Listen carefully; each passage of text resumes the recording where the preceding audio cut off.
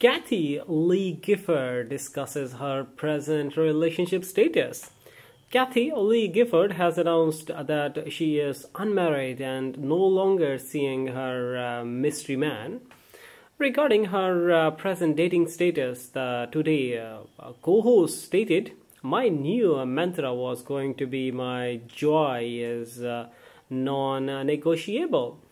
I'll work with you on scheduling. Uh, I will negotiate a price with you, but my delight, uh, I can't.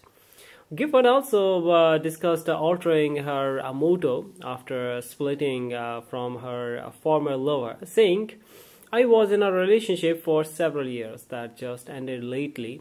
And, I, and, and you know, it's uh, always difficult because uh, when you love someone, you care tremendously. It's something you miss if it doesn't last. The co-host revealed that uh, she had learned a lot from her previous relationships, adding that uh, her uh, most recent one had uh, given her a new lease on life.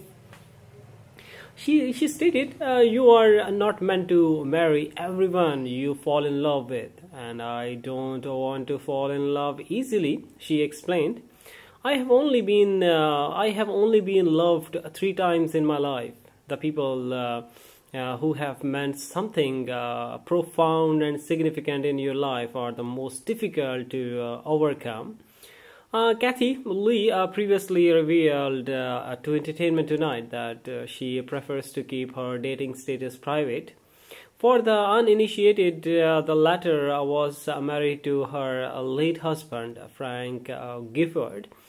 from 1986 until his death in 2015.